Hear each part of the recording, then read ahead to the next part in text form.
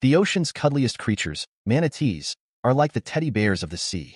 With their plump bodies, round, whiskered faces, and gentle demeanor, they beckon to be cuddled. But don't be fooled by the temptation. Touching these gentle giants is strictly off-limits. It's not just about fines or jail time, but also about the potential harm you could cause these creatures.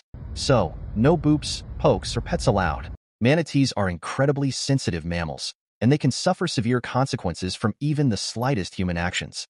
Interacting with them can be harmful to their health and well-being. It disrupts their natural behaviors, causes stress, and potentially exposes them to diseases or injuries. That is why laws were established to protect manatees, making it illegal to touch them. These laws prohibit touching, feeding, or harassing manatees in the wild. Violating these laws can lead to fines of up to $500 and or jail time for up to 60 days. If injury or death occurs from the touch, penalties of up to $50,000 and or imprisonment for up to one year may apply.